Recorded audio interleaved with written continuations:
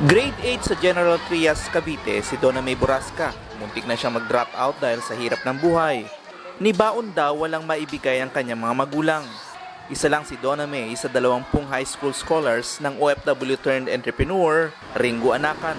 Isang daang piso kada araw na baon, libro at kabuhayan para sa kanilang mga magulang ang binigay ni Ringo sa kanila. Sobrang bait niya po kasi po natulungan niya po ako sa mga gastusin sa pag-aaral. Dating OFW sa Roma si Ringo, pumasok sa Italy gamit ang baklas sa passport noong taong 2000. Nag-TNT na mahigit dalawang taon bago nabigyan ng papel para makapagtrabaho ng maayos.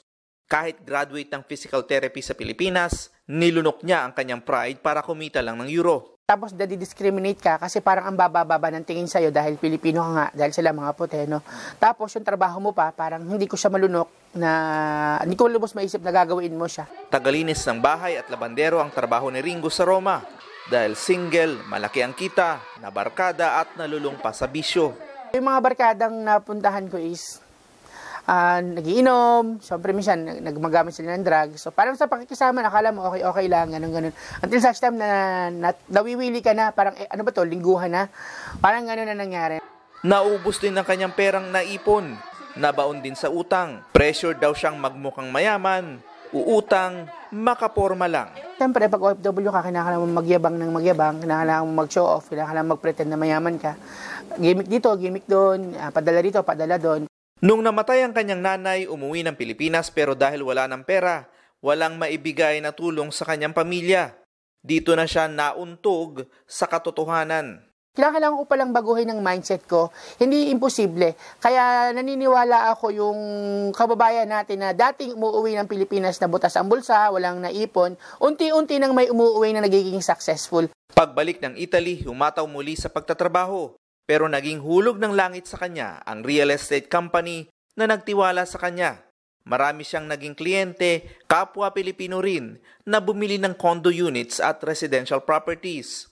Maging sa ibang bansa, dumami ang kanyang mga kliyente at nakapagpundar na rin siya ng sarili niya mga paupahang condo units. Dito na siya nakapag-ipon at kumita ng husto. Sabi ni Ringo, siya ang una at huling OFW sa kanilang pamilya. Gusto ko nang maputol yung chain ng pagiging OFW sa family ko. Ako na yung sabi ko, ako na yung huling OFW ang mag-abroad kaya ngayon, ang masasabi ko na ang lahat ng kapatid ko is negosyante na. Sa halip na sabi niya, magtrabaho ako sa mga company, uh, sabi niya magsariling business na lang. Bukod sa bagong bahay, meron na silang mga sasakyan at ipinakita pa nga niya sa TFC News ang bago niyang farm sa Amadeo, Cavite. Pagtatanim ng mushroom at lettuce ang pinagugugulan niya ng panahon ngayon. Mga sangkap para sa kanyang bagong social enterprise ang Kabutihan Burger. Dahil sa kanyang seed capital, natuto mag-culture ng mushroom sa mga magulang ng kanyang scholars. Ginagawa nila itong burger patty. Niluluto nila at ibinibenta. At presto, Kabutihan Burgers. Get one, share one ang konsepto. Kalahati ng presyo ng burger na pupunta sa scholarship project niya sa high school kung saan siya graduate. Si Sarindo nga, ang tumulong para ang mga bata natin mapabalik ng paralan at para masuport at masuportahan ang kanilang pangangailangan sa kanilang pag-aaral.